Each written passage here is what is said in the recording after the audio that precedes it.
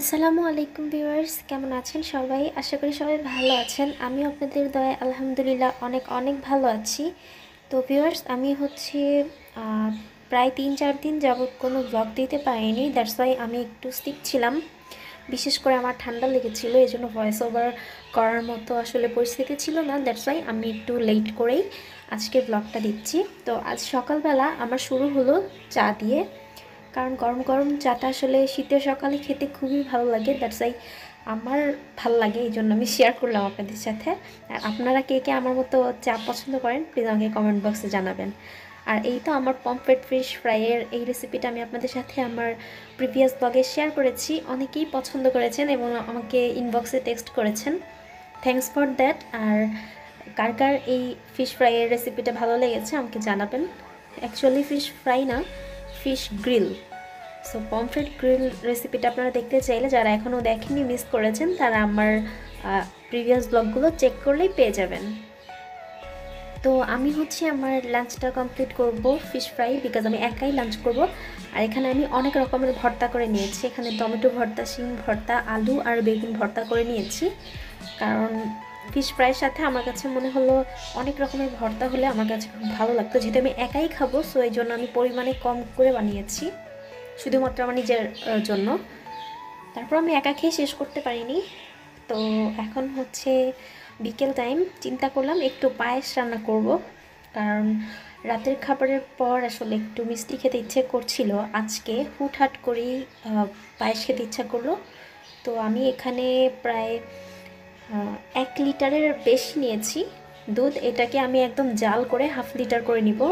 যখন এই দুধটা জাল হতে হতে একদম ঘন হয়ে আসবে, তারপর আমি এর ভেতর চাল আর চিনি দিয়ে করে নিব।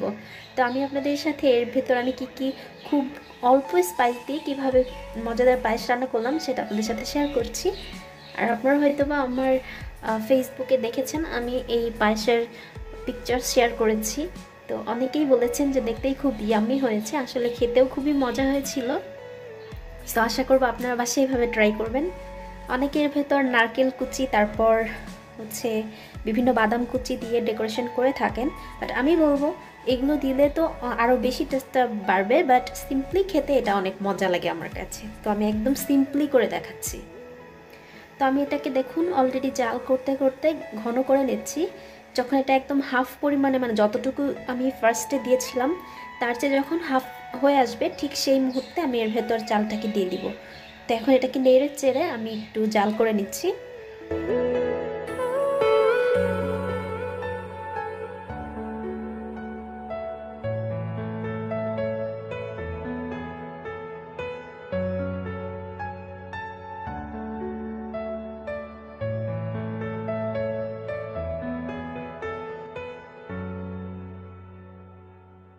তো দেখুন বন্ধুরা, এটা একদম কালার চেঞ্জ হয়ে এসেছে আর আগের তুলনায় এটা অনেক ঘন হয়ে গেছে এবং দুধটার পরিমাণে হাফ হয়ে গেছে। তো এখানে আমি দু টুকরা দারচিনি, দু টুকরা এলাচি আর দু টুকরো তেজপাতা দিয়ে দিব মানে দুইটা তেজপাতা।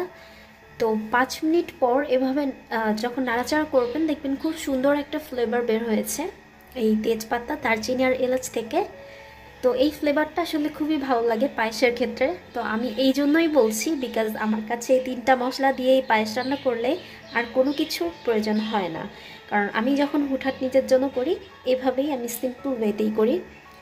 তো আমি আপনাদের সাথে একদম সিম্পল রেসিপিটাই শেয়ার করছি। তো এই পর্যায়ে আমি ভিজিয়ে রাখা প্রায় দুমুঠ পরিমাণে চাল নিয়েছি।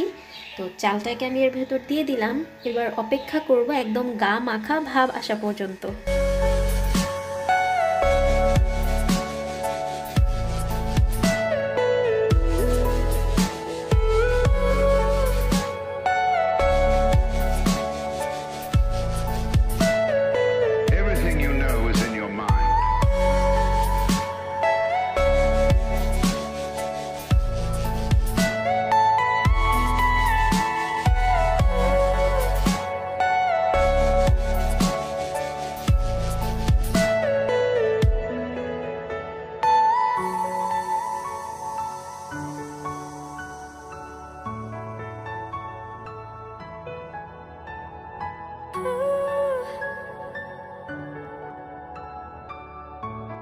দেখুন, আমি আপনাদেরকে একটু তুলে দেখাচ্ছি। চালটা প্রায় হয়ে এসেছে আর এটা একদম গা মাখা ভাব চলে এসেছে। এই পর্যায়ে আপনি আপনাদের পছন্দ মতো চিনি দিয়ে দিবেন।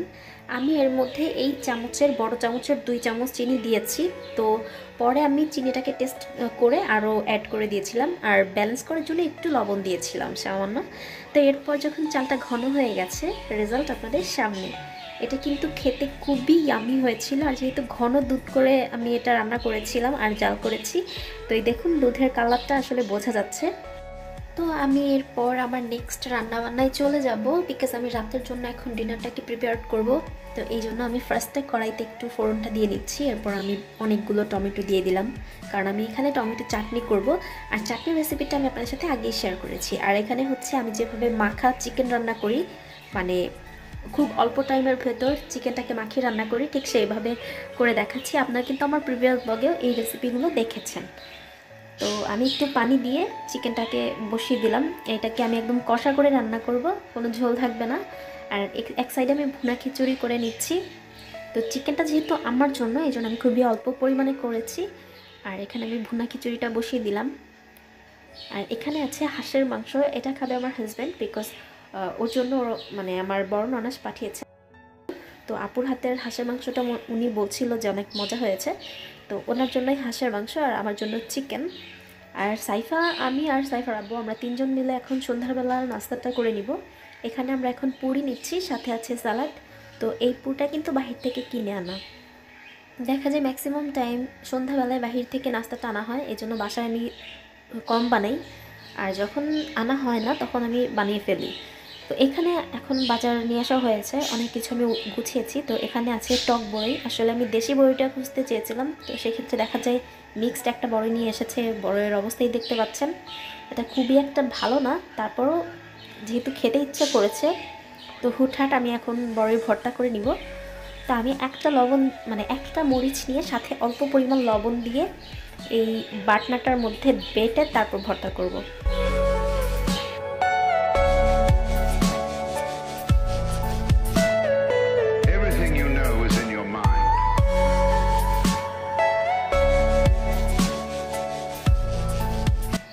আমি একদম ধনিয়া পাতা ছাড়া খুবই কষ্টে বানিয়ে নিলাম এই ভর্তাটা। আসলে খেতে ইচ্ছে করলে যা হয় আর কি। যা ছিল বাসায় আমি সেগুলো দিয়ে মেক করে নিয়েছি। আর আমার কাছে আসলে একটু টক টক ভালো লাগে। তো যেহেতু আমার একটু ঠান্ডা লেগেছে, তার মধ্যে মনে করেন এই বড়ি ভর্তাটা আমার জন্য অনেক বেশি মজাদার ছিল। তো এটা আমার একাই খেতে হয়েছে। আমার বেবি ছোট, ও টক পছন্দ করে না, আর ওর বাবাও তো একটা খায় না। আর এই তো আমার চিকেনটা একদমই রেডি আর এই হচ্ছে ভুনা খিচুড়ি। সো এখন আমরা খাওয়া দাওয়া শেষ করে নিব। তো বন্ধুরা, আজকে সারাদিনের ব্লগটা আপনাদের কাছে কেমন লাগল জানাতে ভুলবেন না। আর আমার ভিডিওতে একটা লাইক করে দিবেন চ্যানেল থেকে সাবস্ক্রাইব করবেন। So take care and bye